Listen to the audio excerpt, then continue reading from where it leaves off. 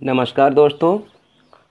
हमारी फिरोजाबाद यूपी सहित देश के कोने कोने से जिन मरीजों ने हमारे द्वारा बताई गई इलेक्ट्रो होम्योपैथिक औषधियों से मिर्गी, दौरा, ट्यूमर, पथरी एवं कैंसर जैसी खतरनाक बीमारी में जादू जैसा प्रभाव देखा है और जटिल बीमारियों को स्थायी रूप से समाप्त किया।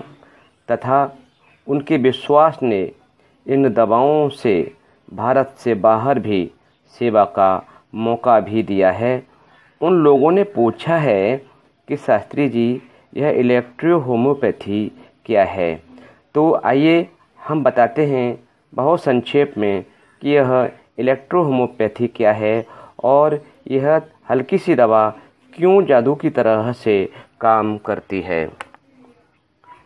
साथ ही हम आपको ये भी बताएँगे कि इससे बीमारी जड़ से क्यों ख़त्म हो जाती है। दोस्तों समय समय पर हम आपको इलेक्ट्रो होम्योपैथी से संबंधित और म्यूज़िक से संबंधित जानकारी देते रहते हैं। दोस्तों, यह जानकारियाँ आपको आपके चैनल पर, आपके मोबाइल पर बहुत ही आसानी से और निशुल्क प्राप्त होती रहेंगी। इसके लिए अगर आपने हमारा music and health channel subscribe नहीं किया है तो प्लीज़ इसे सब्सक्राइब कर लीजिए। और कर लिया है तो आपके लिए बहुत बहुत धन्यवाद। दोस्तों, यूँ तो इलेक्ट्रिक होम्योपैथी का एक बड़ा इतिहास है, परंतु हम यहाँ अत संक्षेप में आपको बताते हैं कि इटली के वैज्ञानिक काउंट सीजर मैटी ने इटली से लेकर भारत सहित विश्व के अनेक देशों में गरीबों के लिए सरल, सस्ती हान रहित स्थायी लाभ देने वाली वनस्पतियों पर आधारित एक विशेष चिकित्सा पद्धति का आविष्कार किया।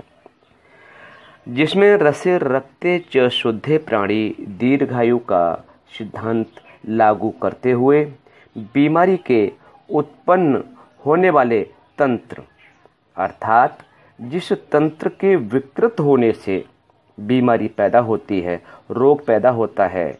डिसीज की जहाँ से प्रोडक्ट होता है, बीमारी की जहाँ से उत्पत्ति होती है, जिस तंत्र से।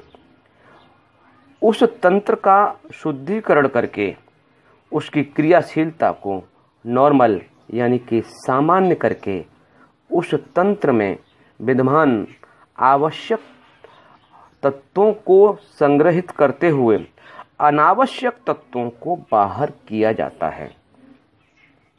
दोस्तों, यही इलेक्ट्रियो होम्योपैथी है। इसीलिए बीमारी जड़ से समाप्त हो जाती है, क्योंकि किसी भी तंत्र में, किसी भी अंग के किसी भी तंत्र में, या किसी भी तंत्र के किसी भी अंग में, दोस्तों, जहाँ पर अनावश्यक तत्वों का संग्रह हो जाता है, अनावश्यक तत्व इकट्ठे हो जाते हैं अनावश्यक तत्व वहाँ एकत्रित हो जाते हैं। अनावश्यक तत्व वहाँ पर स्टोर हो जाते हैं। उन अनावश्यक तत्वों को इलेक्ट्रो होम्योपैथी की वह अति सूक्ष्म डोज वहाँ से उसे विस्थापित करके मल, मूत्र, पसीना इत्यादि के माध्यम से शरीर से बाहर निकालती है।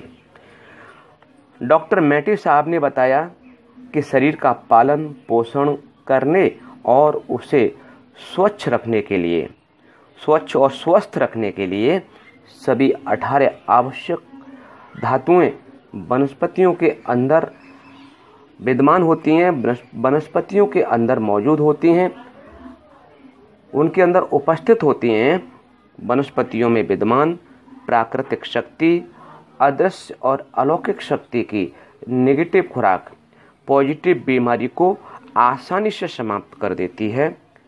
तभी तो बड़ी बड़ी चुनौतियों को इलेक्ट्रो होम्योपैथी ने स्वीकार किया है तथा लोगों को स्वस्थ किया है तथा इस तरह की खतरनाक बीमारियों से, जैसे आपका ट्यूमर है, आपका कैंसर है गॉल ब्लैडर स्टोन है किडनी स्टोन है यूरेटर स्टोन है यूरिन ब्लैडर स्टोन है, इसके अतिरिक्त लीवर की प्रॉब्लम है फैटी लीवर है। लोग जहाँ पर किडनी के ट्रांसप्लांट की बात करते हैं, किडनी प्रत्यारोपण की बात करते हैं, और ऐसे मरीजों को इलेक्ट्रो होम्योपैथी ने इलेक्ट्रो होम्योपैथिक मेडिसिन ने बिना ऑपरेशन के पूर्ण स्वस्थ किया है। और जहाँ किडनी ट्रांसप्लांट की बात करते हैं, किडनी दूसरी, लगाने की बात करते हैं। उन्हें किसी प्रकार की किडनी की आवश्यकता नहीं हुई और बिना किसी ऑपरेशन के इलेक्ट्रो होम्योपैथिक दवाइयों से व्यक्ति इस तरह की स्वस्थ ज़िंदगी जी रहे हैं, जैसे कि वो पहले जिया करते थे। दोस्तों, बता देना चाहूँगा कि इलेक्ट्रो होम्योपैथी में वनस्पतियों के रस निकाला जाता है और रस को भी फिर रस में से भी एसेंस निकाला जाता है और वह उस एसेंस के द्वारा निगेटिव पॉजिटिव डोज तैयार की जाती है तथा उसके डाइल्यूशन तैयार किए जाते हैं। प्रथम डाइल्यूशन द्वितीय डाइल्यूशन तृतीय डाइल्यूशन से लेकर के पाँचवा, दसवां, पचासवां, सौवा, एक हज़ार माँ पाँच हज़ार माँ इस तरह से इसके डाइल्यूशन तैयार किए जाते हैं। जो बीमारी बहुत क्रॉनिक हो जाती है, बहुत पुरानी हो जाती है और असाध्य हो जाती है, जिसके ठीक होने की संभावनाएँ खत्म हो जाती हैं। उन पर इलेक्ट्रो होम्योपैथी निगेटिव और पॉजिटिव डोज के हिसाब से पुरानी और नई बीमारियों में काम करती है। दोस्तों, ये रही इलेक्ट्रो होम्योपैथी दोस्तों, आगे के वीडियो में हम आपके लिए कुछ और जानकारी लेकर के आएँगे।